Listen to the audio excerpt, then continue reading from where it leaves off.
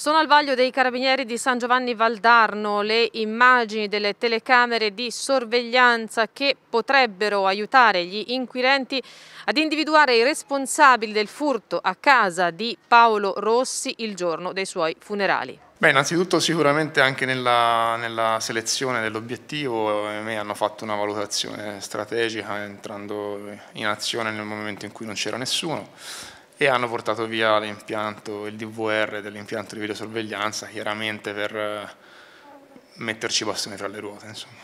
È una banda ben organizzata, con ogni probabilità quella che ha colpito a casa di Paolo Rossi all'interno del relè Poggio Cennina di Bucine proprio durante le esequie del campione che si tenevano a Vicenza. I ladri, due o forse tre, hanno messo a soqquadro l'abitazione portandosi via un orologio Rolex del grande valore affettivo e alcune statuette sportive.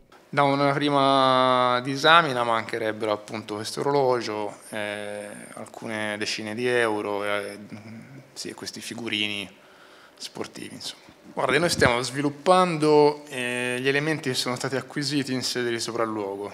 La squadra rilievi ha fatto un sopralluogo finalizzato a repertamenti di tipo dattiloscopico, fotografico e, e all'acquisizione dei filmati delle immagini dei circuiti di videosorveglianza, sia delle abitazioni limitrofe che di altre strutture anche ricettizie e telecamere comunali. Stiamo cercando di mettere a sistema questi elementi qua.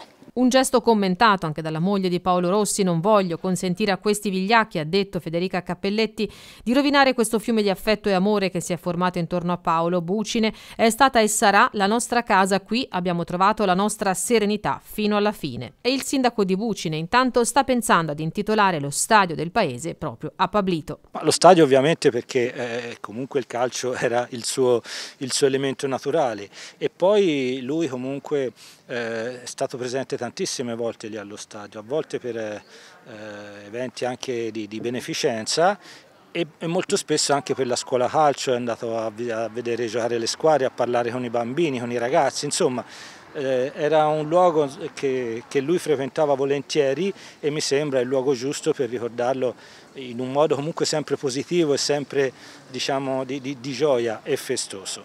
Ne ho già parlato con Federica che ovviamente è d'accordo e, e, quindi procederemo eh, verso questa scelta.